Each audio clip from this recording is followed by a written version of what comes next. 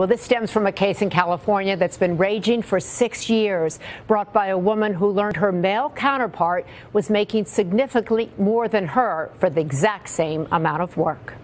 This morning, a major victory in the fight over equal pay for equal work. A federal appeals court in California ruling that employers may not consider previous salaries when setting an employee's pay.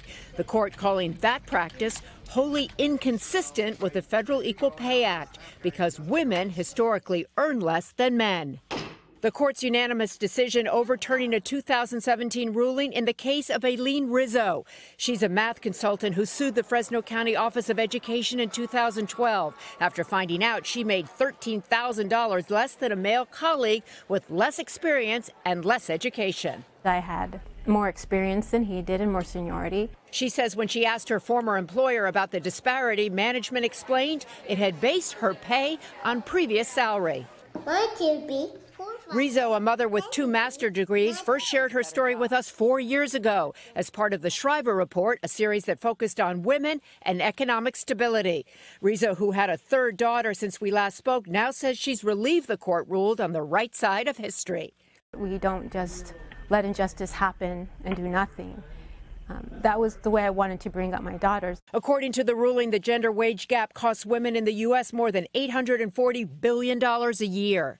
One judge writing, if money talks, the message to women costs more than just billions. Women are told they are not worth as much as men. Allowing prior salary to justify a wage differential perpetuates this message, entrenching in salary systems an obvious means of discrimination.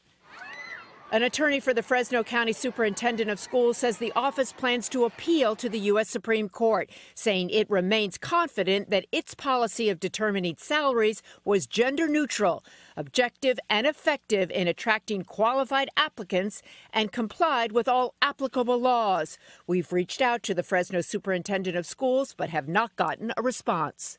I think I proved that the world is malleable, that um, change can happen, but I realized for the first time that what one person does can make a difference.